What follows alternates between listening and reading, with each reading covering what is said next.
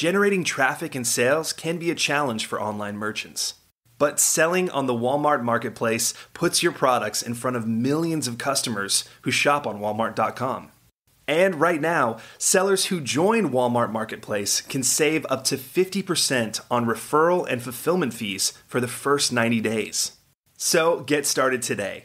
Head over to marketplace.walmart.com/savings.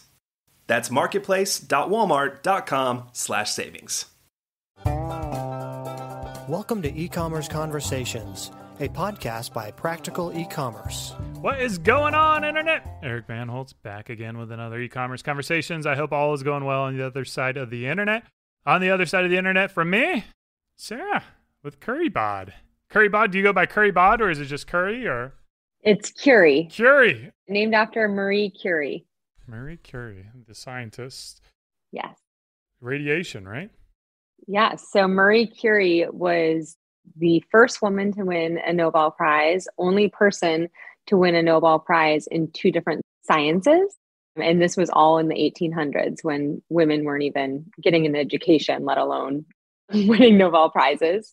So she was a trailblazer. She discovered elements that led to radiation therapy, chemotherapy, x ray machines. She was truly a trailblazer.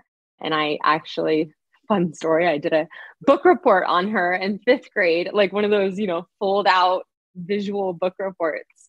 And she really stuck with me. And when when it came time to name my company, I wanted it, you know, I wanted to name the business after someone that really represented who I was building the company for, which was people who are out there building businesses, building lives, raising families, trailblazing. And so I named it uh, Curie after her. Oh, that's a cool story. I, I didn't know that. Yeah. Wow. So the radiation was one thing she won the Nobel Peace Prize for. What was the other one? Um, I actually don't know. That's. I should probably know that. I've I've read her biography twice, but I don't actually remember exactly what she won her second Nobel Prize for. It's going to kill me because I'm googling. We can. Well, I'll follow up and we can put it in the show notes so people can can read all about her. She's but Polish too, so I'm, I'm uh, half Polish. So it's uh, always cool to see Polish people find success. very cool. Yeah, her husband was French and I'm French, so we got some some ancestry representation there. So I'm excited to bring you on the show because uh, what people don't know is we had a phone call probably about a year ago where you hopped on and asked me for advice on going on Shark Tank. Yes. And thank you so much for that, by the way, because I cold reached out to you, I think on Twitter DMs and was just like, hey, you were on Shark Tank. Like, can we talk? And I really appreciate you taking the time to talk to a stranger. Yeah, well, I don't know if my advice was any good or not, but why don't you go ahead and give our listeners you ended up being on Shark Tank just like last week. Yes. Yes. So we ended up airing on Shark Tank last Friday. So a little over a week ago. It was a very long process, as you know. We applied to be on the show. I actually applied to be on the show in 2020, didn't get on, reapplied in 2021. Actually, had a conversation with Patrick from Supply in like February of 2021. And he was like, You should go on Shark Tank. It was huge for us. And I told him, like, oh, I applied last year. I didn't get on the show, but maybe I'll, yeah, maybe I'll apply again. And got off the phone with him, applied on the Shark Tank website, and ended up getting on the show second time around. So we filmed, I filmed the show in September. And then, as you know, once you film, you kind of just wait around until they tell you it's going to air. They give you three weeks' notice. So we definitely prepared for it. You know, we bought tons of inventory. We were ready to go with a website update, website revamp, and just kind of had to wait until we got the call. And so we got the call and we ended up airing March 11th. That is uh just I remember those days like is this your first business? Yeah. Okay. So like everything is like completely new for the first time. It's just I, I don't think there's like a better feeling in life than experiencing such a major win of having like a seven minute commercial on national TV. Yes. Do you feel that same kind of high like during the whole process or like describe what goes through your I feel so lucky. I mean, this is my first business. I didn't know anything about e commerce prior to starting Curie. So, my background I was a CPA, certified public accountant out of college, did that for two years, hated it, but got a really good foundation in finance and accounting and you know really understanding having a solid foundation in accounting i think is really important as a founder. And so did that for two years worked in venture capital for four and a half years. So i was an associate at an early stage venture capital fund.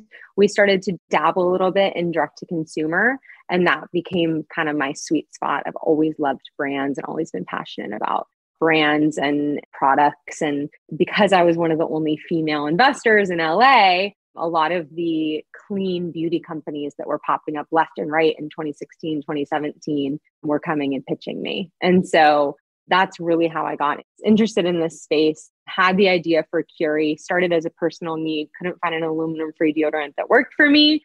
So I made my own, um, I didn't actually make it myself. I hired a chemist. I knew that if we were going to make something that worked, it wasn't going to be me making it in my kitchen. So I hired a chemist, a formulator that helped us create our aluminum free deodorant. And it really just took off from there. And I have learned, and I think a lot of people listening can probably relate to this, is like, I had no idea what I was doing. I have learned everything along the way.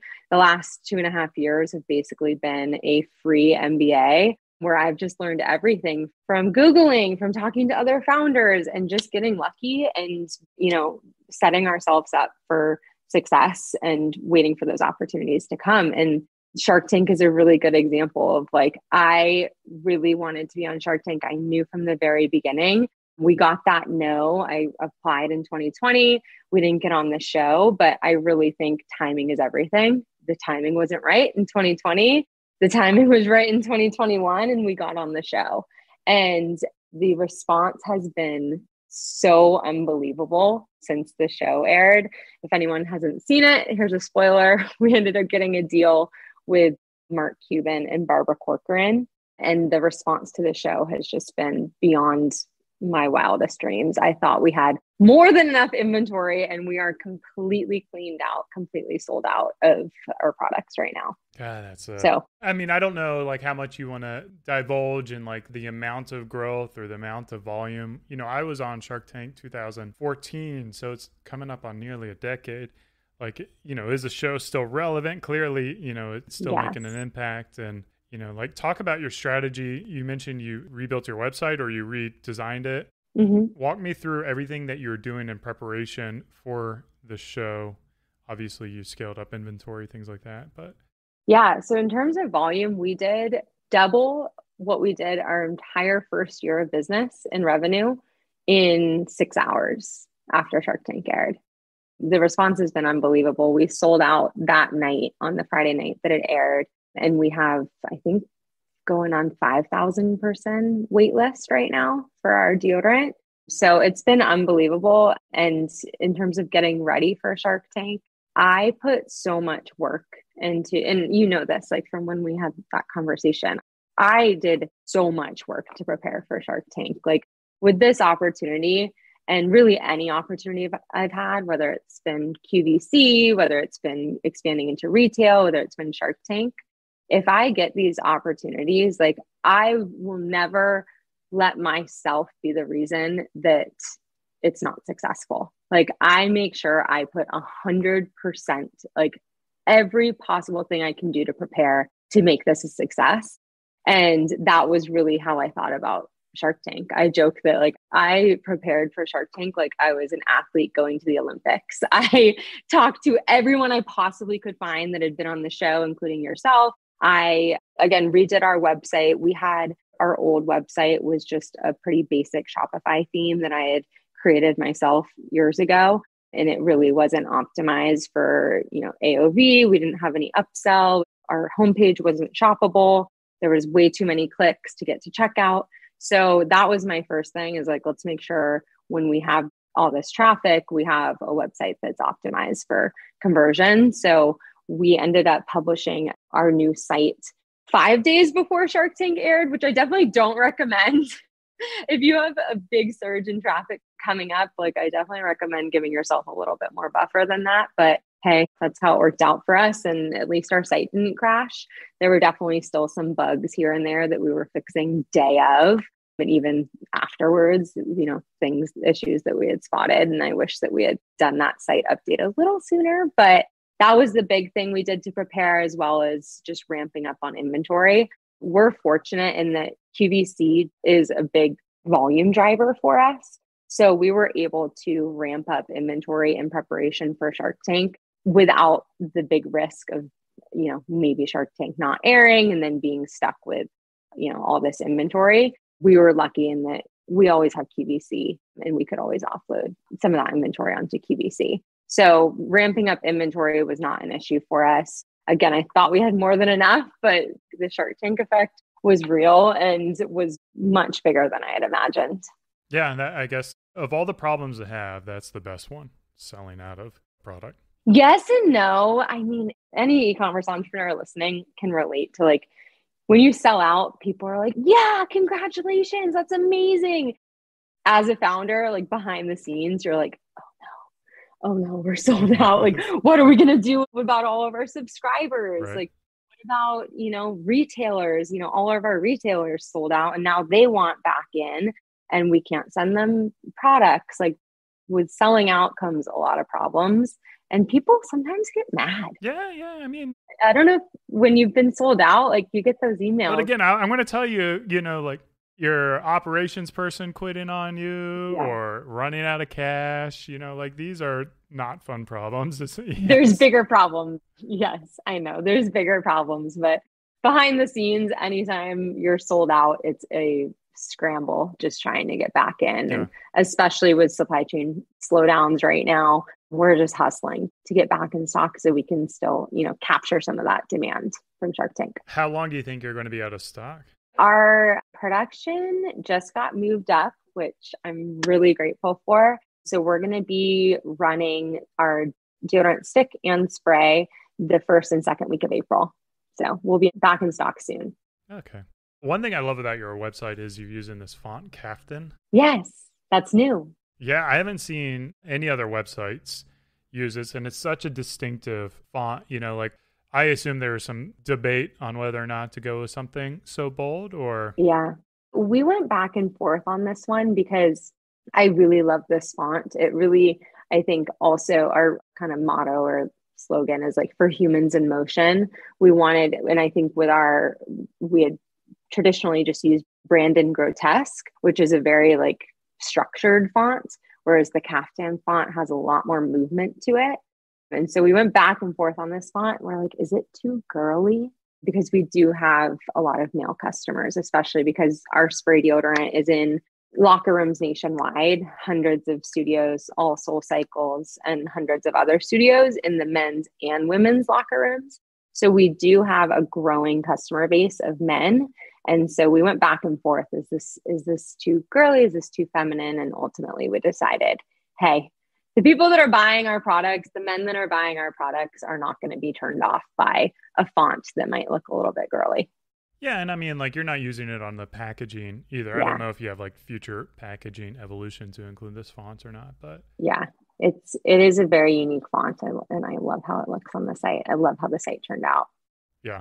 Was that done in house, or you worked with an agency for this? Or we did it. We have a graphic designer who's done all of our packaging and design since the very beginning. So she did all the design, and then we ended up buying just an archetype archetype theme called Streamline, and just making customizations to that theme. And so we just had a hourly Shopify developer that made the updates, and then our designer drove all the you know design so we didn't hire an agency and probably saved ourselves a lot of money by doing that yeah i mean like a ground up design is you know like 20 30 thousand dollars nowadays oh we were getting like fifty thousand dollar quote oh is it that much now yeah it was pricey and i asked around a lot went to people's websites and asked you know how they had made them. And I had a couple founders that recommended archetype. I don't know how to say it, archetype, archetype mm-hmm. themes. And so we played around with Streamline. I downloaded it one afternoon and started to build the site using that Streamline theme and was able to get like 80% there just myself. Yeah. And then our designer made some, you know, slight tweaks, slight like aesthetic customizations. We ended up adding in some new apps, you know, like our upsell app on the cart. And all in all, it ended up costing us probably one tenth of what it would cost if we had gone with an agency.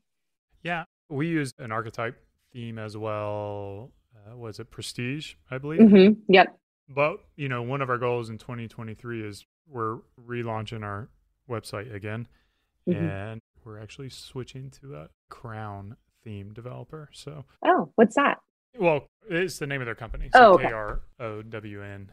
But it's the same thing, you know, like buying something out of the box.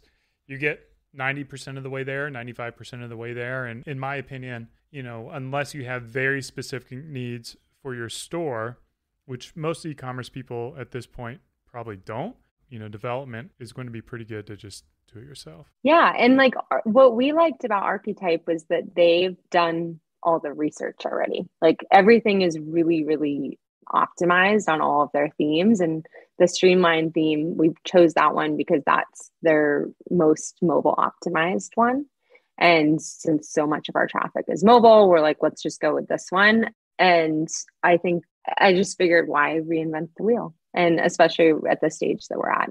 Maybe one day we'll go build up like a ground up custom theme, but for what we needed and the speed that we needed it, we were able to get this live pretty quickly. And I think it looks pretty great and it's performing really well.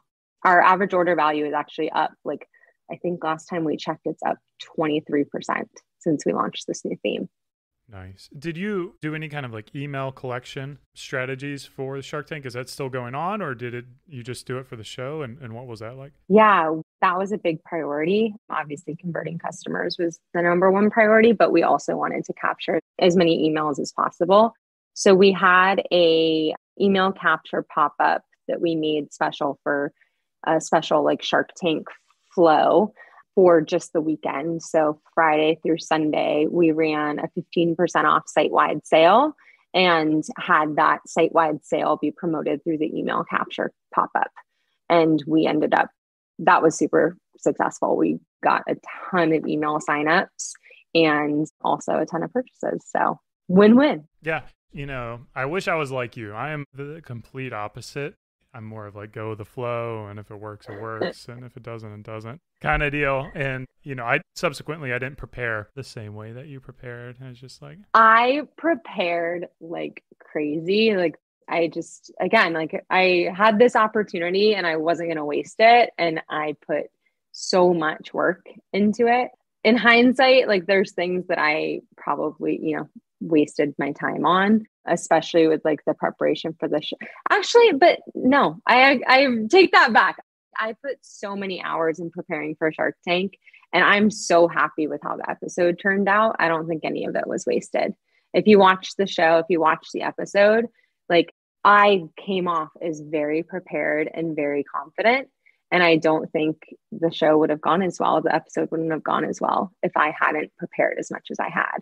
I watched tons of episodes. Like I watched so much Shark Tank. I made pages and pages and pages of potential questions. I practiced. I practiced my pitch again and again and again.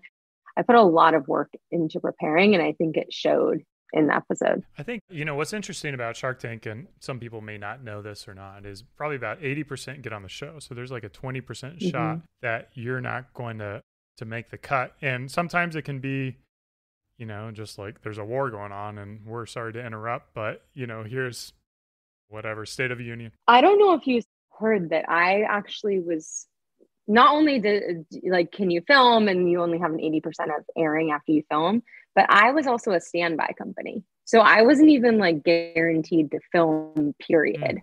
So I had to do all this work in preparation and I didn't even know if I was going to film and then after I filmed, still wasn't even sure if I was going to air. Yeah. I mean, for my experience, uh, you're out in LA, Culver City, and, yeah. you know, for me, I was like the last to go or the second to last to go on like the last day of filming. And, and like sometimes they'll just send you back home. You know, you go out there and. Yeah, I've heard that. And I've had uh, friends who filmed it as well, and they never got on air. So it's mm-hmm. It's a ringer, and, and there's a risk in you know like spending a lot of time preparing for the show and, and never getting it on. I think obviously I think you need to build a special company to get onto Shark Tank. And I'm just curious as to all the things that you've done to build the business. I've had, you're the third deodorant company on my podcast. I've had Jaime Schmidt and you've had Moiz and Moiz, Moiz as well. So it's clearly a very competitive marketplace. And we sell deodorant not very well, not very successfully. so I'm doing something wrong but maybe I can learn from you. Like, how do you find success in the deodorant market? Yeah, I mean, good question. It is a competitive space? It's something I talked about on Shark Tank. But uh, so, kind of going back to the origins of the company, we launched with one product, one SKU. It was our aluminum free stick deodorant. I launched Curie on $12,000 of my savings, had zero marketing budget, really just bootstrap side hustle for that first year and was able to scale up into six figures of revenue in that first year just based on organic customer acquisition word of mouth some influencers posting you know press. And i think it's just a testament to the brand. I built the brand in a way that i think that really resonated to a specific group of customers that weren't having their needs met. I think second a lot of people still felt like aluminum free deodorant wasn't for them, it didn't work for them. I think myself being an athlete, marathon runner, being really, really present on our social media and all of our emails. Like in the early days, in that first year, Curie was Sarah and Sarah was Curie. Our customers were buying the product because they were seeing my face on Instagram. I was going on 15 mile training runs and sniffing my armpits at the end and being like, I still smell like white tea. Um, and so I think that the way that we built the brand so organically during that first year, we got those, whatever that phrase, you know, thousand raving customers. And that really created this kind of launch pad for us where after that first year, I was like, where can we take this? Because at that point, deodorant was becoming more and more competitive there's been 10 new deodorant companies that have popped up every month over the last two years. So deodorant was becoming more and more competitive. And so I had these customers that were really, really bought in, loved the brand. Our repeat purchase rate was really high. So I started to think about where can we take this that is, you know, we can continue the growth and continue the, the momentum and not be solely focused on deodorant. And so, starting to talk to our customers, we realized our customers loved our signature scents. We have our three signature scents. They're proprietary scents. We developed them with a, a scent house that we still work with. And our customers wanted to use the deodorant on their whole body. They love the scents that much. If you're an orange neroli girl, you wanted orange neroli everywhere. If you're a white tea guy, you wanted to use it, you know, not just on your underarms. And so we started to think long term about the business as kind of a Bath and Body Works, but clean and for next generation. And that's really where we've gone in the last two years in terms of product development. We launched our full body deodorant spray, our whipped body wash, a body oil. We have candles. We're about to launch a collaboration with a big scent diffuser company. And we're really positioning ourselves to be that clean scent company that makes, you know, clean personal care products and beyond that, including eventually home fragrance, anywhere that you want to smell good. And so we've seen the response from our customers they're not just buying deodorant. I don't think our customers think of us as just a deodorant company anymore. And I think that'll continue as we evolve the business into more of a, a lifestyle brand focused on clean signature scents. Yeah, I think, you know, the challenge of building a business like that, of course, is first of all, getting boxed in to uh, a certain type of product, as you can imagine, mm-hmm. we go through a beard brand. And then, mm-hmm. uh, you know the other mm, challenge it's is, hard to break out of that that everyone wants to put you in a box. Yeah yeah and i mean it makes sense you know like you want to have your deodorant company and your shampoo company and this and that but how do you you know as a bootstrap company having three fragrances you know really can become a challenge you know hitting or or having moqs and being able to order enough do you take a strategy of launching a product with just one fragrance and then bringing three more in or you know tell me how you work through that that's a great question that not a lot of people think about because everyone's like you guys should come out with this fragrance why don't you come out with a coconut why don't you do this and that and i'm like we have six products now. We don't just have the deodorant. So every time we launch a new fragrance or launch a new scent, we have to think about, you know, putting it, incorporating it into our stick deodorant, spray deodorant, hand sanitizer, body wash. And so how we're thinking, and we actually just brought on Ann Gottlieb. She is the nose of CPG. If you Google search her, there's this amazing Wall Street Journal article on her. She was the woman that developed all of Bath, Bath and Body Works original signature scents. She's also worked with Chanel high end fragrance to Axe body spray. She's been the nose of CPG for like the past 35 years. She's a legend. She's like just lives this like fabulous life on the upper west side in new york and i love her and so she um she joined as an investor and an advisor and she's developing our next you know dozen signature scents and so dozen i've been working with her thinking i mean she's going to be with us forever. I'm just thinking okay. into the future. um, she is. We're not not anytime soon, but we're our plan is to launch one to two new signature scents a year. And so, talking with her and brainstorming with her how we can do that in a way that works with our, you know, with a bootstrap budget. Our plan, and we're launching a new scent in May. And our plan is to drop the new scents in just one SKU and use that as kind of a test. So we're launching a new scent in May that's a collaboration with a big fitness studio. And that's going to be only available in our spray deodorant until we, you know, test the market and figure out if we want to expand that into the other products as well. And then the nice thing about that is by the time we do expand it into our other products, there's already that loyalty, hopefully, to that scent from the people who have bought it in the spray deodorant, and it'll make it a little bit easier to to expand versus just going all in immediately. So i think that's the plan to, for for launching the new scents is like focus each of the new scents on one product and kind of treat that one product as a proof of concept and then we can expand into the rest of the product line if it's successful. Will you kill a fragrance to have it replaced? Yes. We will definitely kill a fragrance if it's not performing. And we also will potentially be killing products as well. I think that's something I've had to think about over the last six months, especially because, just as an example, we launched our hand sanitizer during 2020. It was wildly successful. Um, that really saved our business actually in 2020. At the time, we were only coming into COVID, we were we only had deodorant and deodorant sales when COVID started fell off a cliff. People were quarantined at home. They weren't wearing deodorant, I guess. Mm-hmm. I was, but I guess a lot of people stopped wearing deodorant when they weren't going into the office or going out in public as much. And so our deodorant sales, we saw an immediate impact when COVID started. And so we launched the hand sanitizer. Like I spent count like hours and hours three in the morning calling factories in China trying to get bottles so we could create and make our hand sanitizer. And we were able to hustle and get that product launched in May of 2020. And it really saved the business in 2020. And now we look at hand sanitizer and it's less than 5% of our of our business. Yeah. And so now I'm kind of going through that exercise of looking at our SKUs and thinking, where can we cut and focus on what's working and I think the hand sanitizer is a good example of that, of, of, a product that we might end up discontinuing. Yeah. I mean, I think the challenge is always going to be you develop great fragrances that people love.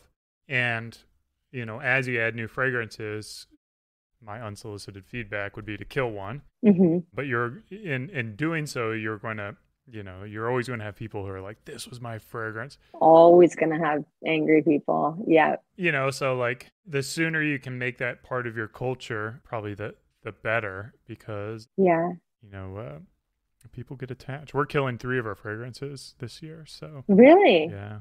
How did you make that decision? I mean, it was a decision that was made, you know, three years ago, but mm-hmm for us, one of our core reminders is this word focus, which as an ADD entrepreneur, I, I don't have.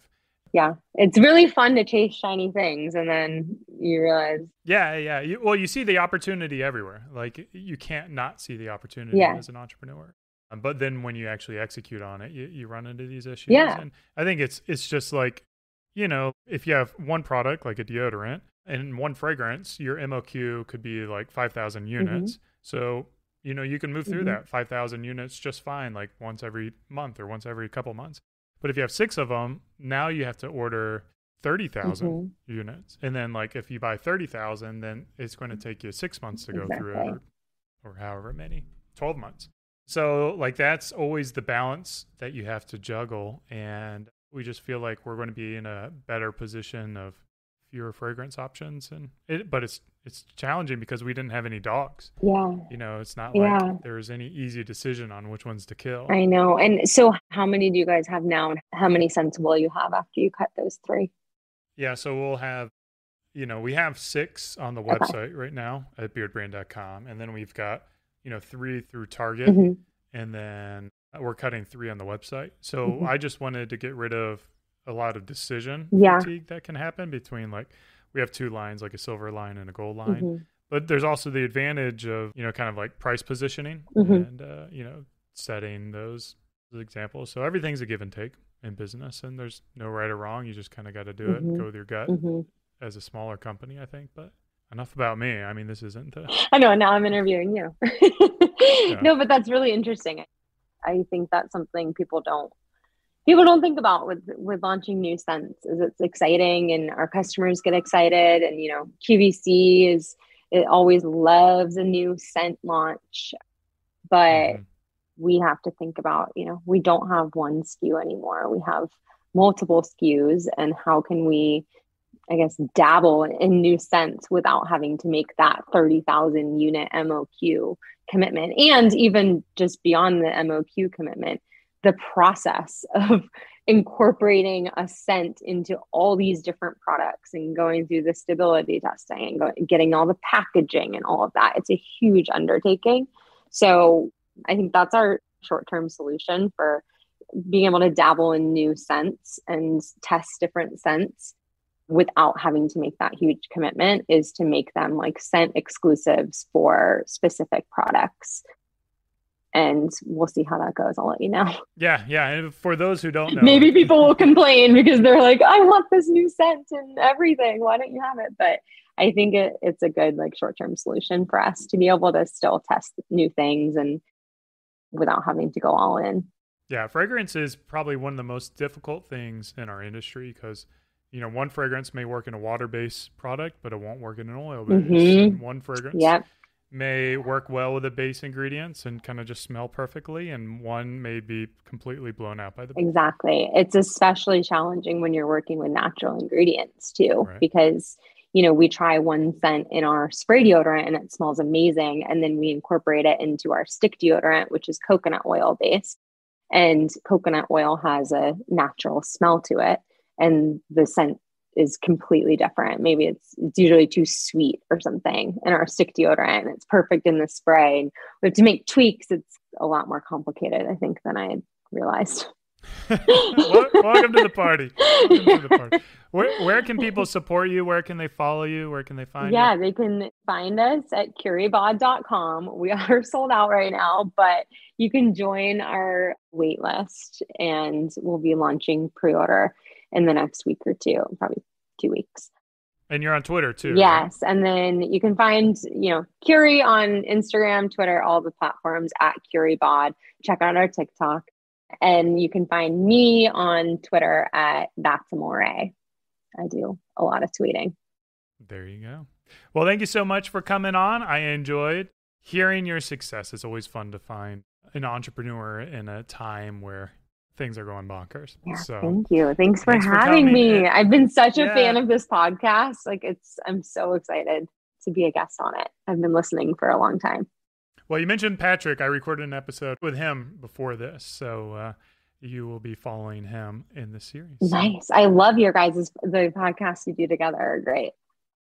Sweet. All right, guys, this has been another e-commerce conversations. Hope you enjoyed this and learned as many things that I learned. As always, thanks for listening. Cheers, and keep on growing.